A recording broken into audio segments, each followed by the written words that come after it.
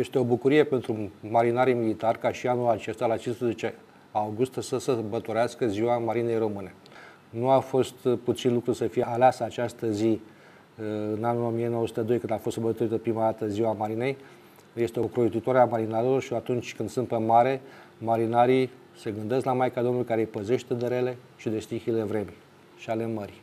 Prin activitățile desfășurate de Ziua Marinei, marinarii militari încearcă să arate o parte din uh, activitățile care le-au parcurs pe timpul anului, o parte din exercițiile la care au participat, uh, să scoată în evidență faptul că uh, antrenamentul și munca de zi cu zi pe care o depun este o muncă frumoasă, este o muncă antrenantă, este o muncă care cere efort, care cere echipzuință, care cere stăpânire de sine, multe calități pe care uh, acești marinari trebuie să le aibă, indiferent dacă lucrează la bordul navelor, dacă sunt din forțele speciale sau care sunt, dacă sunt piloți pe elicoptere. Ziua Marinei ca și spectacol, cel puțin în Constanța și în celelalte porturi, durează o oră, două. Ce se ascunde în spate? Ați fost și în spatele acestor activități. Câtă muncă este acolo? Am avut ocazia să particip la Ziua Marinei și în calitate de ofițer ambarcat la bordul navei, cât și ca organizator al Zilei Marinei atunci când am lucrat la statul major al forțelor navale. Este o muncă titanică, o muncă pe care colegii mei și-o asumă cu multe luni înainte și care o organizează cu foarte mare acuratețe încât să nu fie nicio disfuncție pe timpul desfășurării manifestărilor dedicate Zilei Marine. Este o muncă complexă, o muncă care solicită mult efort, o capacitate de concentrare deosebită și de fiecare dată, în fiecare an, colegii mei din forțele navale au obținut rezultate remarcabile. Ați desfășurat o bună parte din activitate la bordul navelor. Cum era ziua marinei atunci? Muncă, multă muncă, multă muncă și multe emoții. Atunci când încheiam activitățile legate de ziua marinei, fără a avea evenimente cu tehnica în bună regulă, când vedeam, ajungeam în port după zile istovitoare pe mare de antrenamente, zile istovitoare în care ne puneam toată priceperea și chipzuința la, la încercare. Eram mulțumiți că ajungem acasă și mergem la familiile noastre și ne, ne putem bucura de ceea ce ne spune că au văzut la ziua marinei. Cam câte zile stăteați pe mare? Multe, în jur de 10-15 zile. Bine, nu toate legate. Ieșeam în perioade de 2-3 zile, în funcție de activitățile care doream să le organizăm. Dar erau zile multe de ieșit pe mare și erau zile frumoase.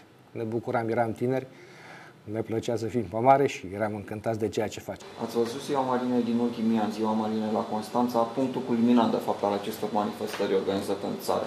Cum vi se pare exercițiul, comparativ cu cel de pe timpul care erați noastră pe mare? Da, cu timpul, deci vorbesc acum de 20 de ani în urmă, 20 și ceva de ani în urmă. Este cu totul altceva. Acum avem uh, tehnică nouă în dotare, avem uh, echipamente noi pe care le-am folosit și le folosim și în fiecare an, v-am spus, căutăm să aducem acel plus de, de frumusețe și plus de valoare zilei marine.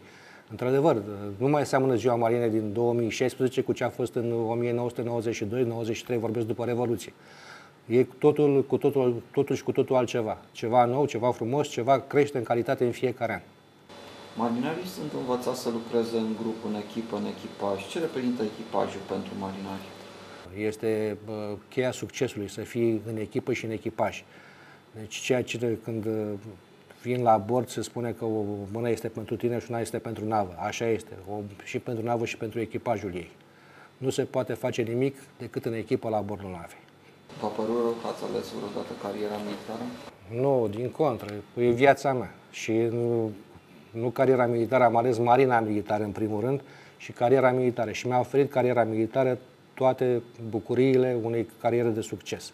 Am ajuns de la cadet la amiral, ceea ce nu este puțin lucru, și dacă pe undeva auzisem vorba aceea că fiecare soldat duce în uh, raniță bastonul de mareșal, eu am avut șansa să și pun mâna pe acest baston de amiral, în schimb, nu de mareșal.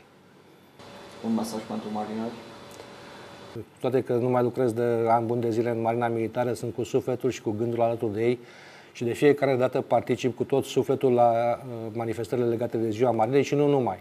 Îi asigur de tot respectul meu, de toată condescendența mea și de tot suportul meu în funcția în care mă aflu acum. Le urez multă sănătate, mult succes, putere de muncă și să le meargă toate din plin. Bun carte înainte, colegi!